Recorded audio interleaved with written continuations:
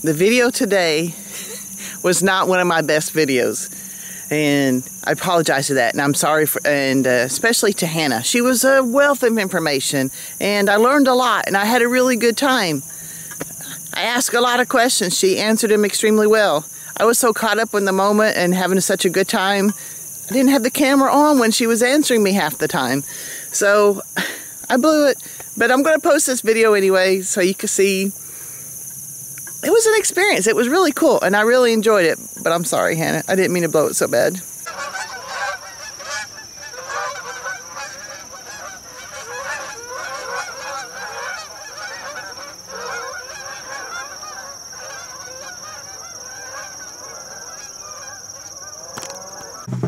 As usual, my videography skills are relaxing, but we're over here at one property and we just laid out a bucket.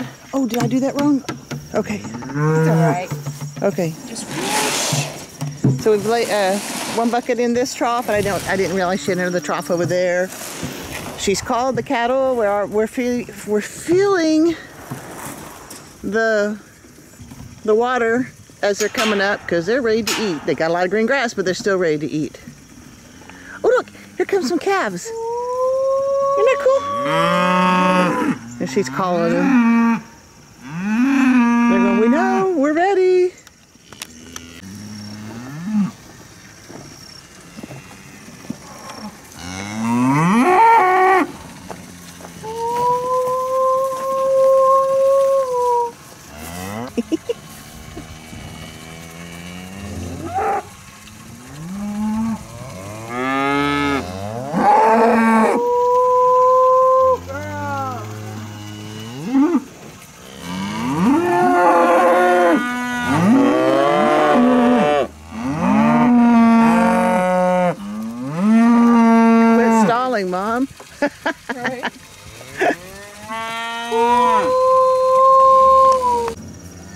I'm staying out here so I don't distract them too much because I know they're not used to me.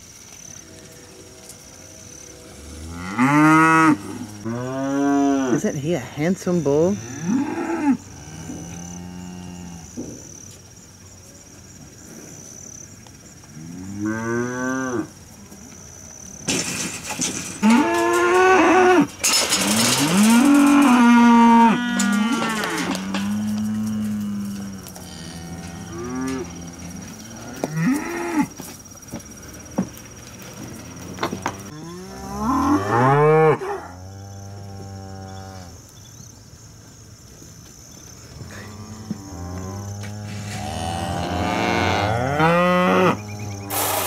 Back up just Like when you mean back up, I want full attention.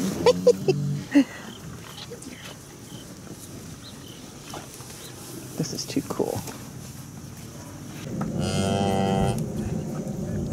She's checking out her Black Angus bull.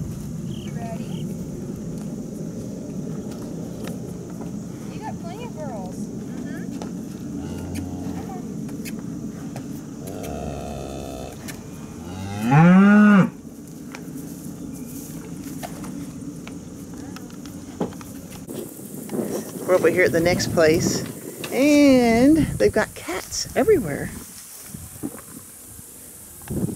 But they seem to be happy and reproducing. We decided to keep him as a bull. We've kind of steered the rest of them. Oh yeah. boys. We kept him back because he's just looking so good. He's very stocky. I don't know if you noticed, he's starting to get a little bit of a hump on his neck, like a, like a bull. Oh yeah. And that's we decided to keep him back. We're going to get him tested to see if he's um, going to be homozygous polled and probably of going to test if he's going to be black as well, like dropping no horned calves and black calves. That's what Kevin likes. But we're going to probably be, if he's good, we'll probably be taking him over to David's house and I'll probably be selling my white one.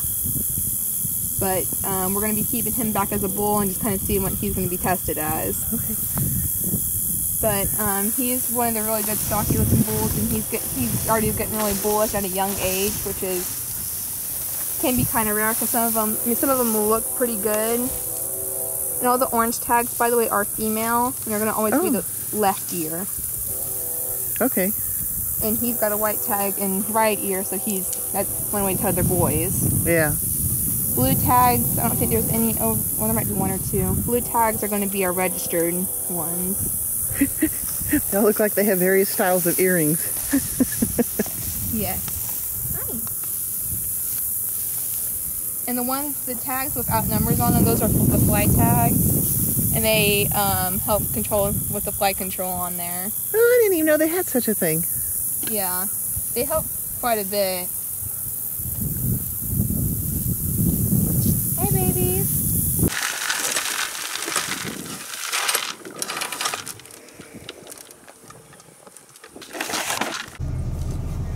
Now we're up here at Cherokee Central on the corner up here and checking I guess it's the third location. We didn't I showed you that last set of cow we were going to feed them but apparently her cousin or something has them on a different property had them on a different field and we didn't need to mess with them. So now we're on the third property. And they're already hollering for the breakfast.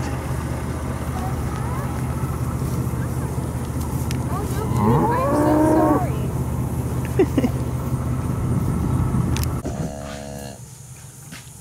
We're over here into a shaded spot. I should be helping.